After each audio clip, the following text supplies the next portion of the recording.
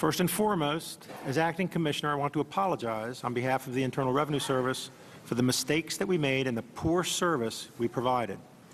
The affected organizations and the American public deserve better. Partisanship, or even the perception of partisanship, has no place at the IRS.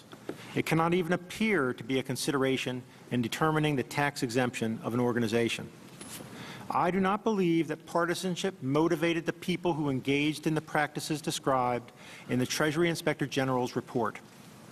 I've reviewed the Treasury Inspector General's report, and I believe its conclusions are consistent with that.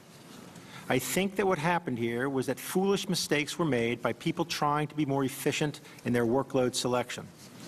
The listing described in the report, while intolerable, was a mistake and not an act of partisanship. The agency is moving forward. It has learned its lesson. We've previously worked to correct issues in the processing of the cases described in the report, and we've implemented changes to make sure that this type of thing never happens again.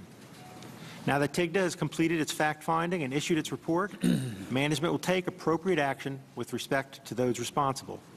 I'd be happy to answer your questions.